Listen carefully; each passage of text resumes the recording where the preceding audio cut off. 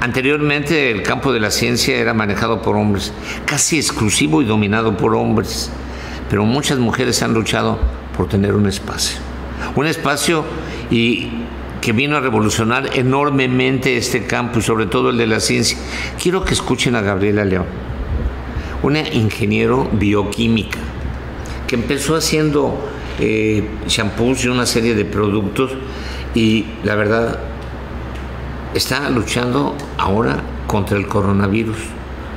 Está haciendo productos que nos ayudan a protegernos del coronavirus. No es vacuna, no es esto, pero que les platique ella en qué consiste esto, porque nos puede ayudar muchísimo en cuidarnos de este virus latente. Gaby León, Gabriela León, ingeniero, tu currículum es muy vasto y tu experiencia también, has hecho cosas muy interesantes, has trascendido, has ayudado en otros países a, curar enfermedades y, creo que como mexicana pues nos debemos sentir orgullosos. Yo por eso quería esa entrevista para mostrarle a nuestro público, a nuestro auditorio, que hay mexicanos talentosos, tenemos científicos, tenemos gente preocupada por el, eh, no, no solo por el medio ambiente, sino por la cuestión ecológica. Tú empiezas con detergentes. ¿Cuál es el inicio tuyo como ingeniera? Pues mira, yo como ingeniera creo que tengo esta mentalidad y este chip desde que era niña, que me gustaba ver absolutamente todo a través de un microscopio y saber cómo funcionaba. Y luego ya al paso de los años que estudié ingeniería bioquímica, pues me di cuenta de que la combinación de la biología con la química era mi pasión y me, me dediqué pues a desarrollar productos antibacteriales desde hace 22 años que tenemos la empresa mi hermano y yo somos socios. Y así es como empezamos una empresa pyme, familiar, pero con ganas de hacer las cosas bien. Y desde ese momento, algo que tú comentas es la parte ecológica y sustentable. Siempre decidimos hacer cosas y productos que no contaminaran, que fueran biodegradables y que ayudáramos a cuidar al medio ambiente. Y fue como desarrollamos jabones y geles, los típicos antibacteriales que hemos usado pues muchas personas a lo largo de los años. Y al paso de los años, en el 2008, mi hijo, que en aquel entonces tenía dos años, se enfermó de rotavirus.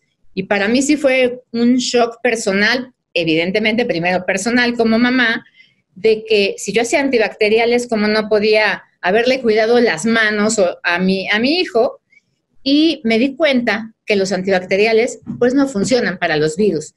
Y de ahí pues nos llevamos a una tarea muy larga de investigación en todo el mundo para encontrar una materia prima que le pudiéramos poner a los antibacteriales y que eliminaran o mataran a los virus. Y no encontramos nada que fuera eficaz, que fuera seguro, o sea, que no fuera cancerígeno y que no fuera contaminante. De este DNA verde vuelve a salir en nosotros. Y como no encontramos nada, pues nos dimos a la tarea de desarrollar una molécula, así como si fuera tan fácil, ¿no? Pero pues aplicando nanotecnología decidimos pelear a la misma escala contra los virus, enfocados siempre a virus, y no matar moscas a cañonazos, sino virus a una misma escala de tamaño. Y entonces, esta nanopartícula que desarrollamos, pues es muy pequeñita y puede estar en una escala de tú a tú para pelear, inactivar y eliminar a los virus. ¿Qué es esto? Esto, esto lo producen ustedes. Ese, ese es uno de los productos que desarrollamos con esta nanopartícula como ingrediente activo. Ok. ¿Cómo se usa? Tú te la aplicas en las manos. Sí. Y te la puedes poner incluso en la cara y dentro de las fosas nasales, porque el producto es totalmente eh, hipoalergénico, biodegradable, no causa citotoxicidad. Esto quiere decir que no daña tus células sanas y te protege, ¿sabes qué es lo mejor? Te protege por 12 horas. O sea, me pongo la crema y después puedo usar el cubrebocas. Exacto. Y mira, también tenemos cubrebocas con esa nanopartícula. No me digas.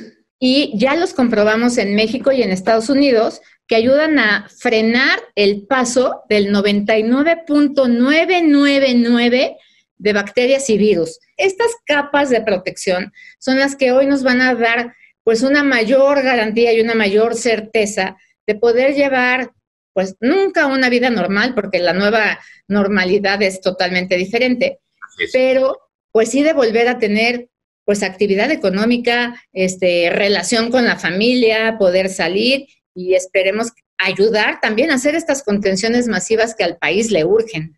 ¿Cómo han salido productos sanitizantes, no, Gaby?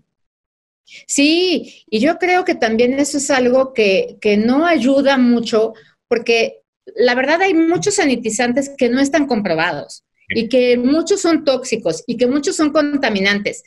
Y algo que también hoy como consumidores y usuarios tenemos la obligación de documentarnos, de leer qué es lo que estamos usando y si de verdad tiene una comprobación. Y mira, déjame darte una premicia encantada, además de que sea contigo, porque te digo que soy tu fan. Gracias. Que tenemos la comprobación del sanitizante de superficies, bueno, de la nanopartícula que es el ingrediente activo, comprobada que inactiva, inactiva es la palabra correcta para decir que matas a los virus, al SARS-CoV-2, es decir, al virus que nos está teniendo en esta pandemia. Ya lo comprobamos en dos laboratorios diferentes, diferentes países, diferentes investigadores, porque pues justamente eso es hacer ciencia, tener repetibilidad. Y estuvimos gratamente sorprendidos, porque en dos minutos eliminamos el 99.999% de los virus que hoy están causando esta pandemia. Entonces, a mí de nada me sirve usar un gel antibacterial, que como su nombre lo dice, es contra una bacteria. O de nada me sirve algún otro producto que tenga mucha publicidad, pero que no tenga un sustento científico, que no esté comprobado, porque desafortunadamente tú sabes que aquí en el país se pueden decir muchas cosas y no hay sanciones y no hay una regulación, sobre todo ahora en la pandemia, y creo que eso es algo muy, muy, pues, eh, responsabilidad de las empresas, decir lo que hacemos y lo que estamos cumpliendo y ofreciendo, pero también la responsabilidad de los consumidores y usuarios de estar revisando qué están haciendo y qué están ofreciéndose de productos, porque es tu vida. Al final del día tú estás muy, muy en lo correcto. Ese 10%, imagínate que además la vacuna de Pfizer necesita una cadena de frío de menos 70 grados centígrados. ¿Qué países tienen esas cadenas de frío? En México está complicado que nos llegue, está complicado que accedamos a ella, no va a ser de inmediato y no nos queda más que una cultura de prevención y de higiene. Y otro punto, pues de comer bien, ¿no? Para tener un sistema inmunológico fuerte. Sí es. ¿Dónde se puede conseguir tus productos? Tenemos una página de internet que es www.mitiendaeviter.com. Ok. Ahí vienen todos los datos, nosotros lo ponemos para que nuestro auditorio sepa y decida el qué hacer.